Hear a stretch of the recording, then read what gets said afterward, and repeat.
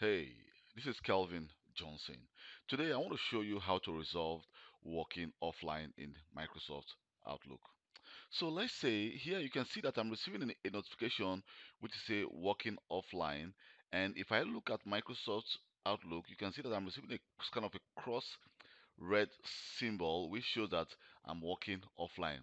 So if you try to send an email or and someone send you an email, you may not receive that mail.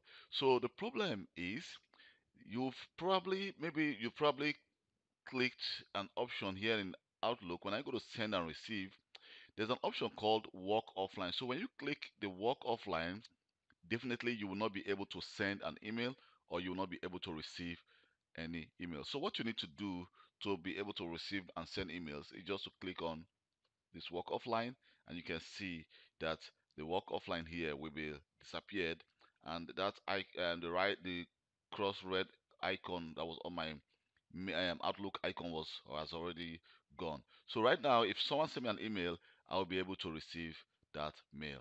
So that is how you solve the problem when you are seeing working offline in the taskbar of Microsoft Outlook my name is Kelvin Johnson.